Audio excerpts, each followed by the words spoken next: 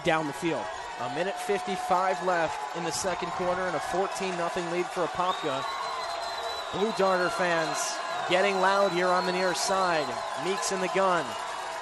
Apopka sending many, looking forward. Meeks on the roll to the far side, flipping that ball forward. That's caught inside the 25, and running to the near side goes the back. This is Gaines inside the 15 to the 10 to the goal line, and that's a touchdown for the Panthers. You knew immediately, Kyle, as soon as he caught that ball and had some room. It's 14 to six. Apopka leads with 141 left in the second quarter, but the Panthers.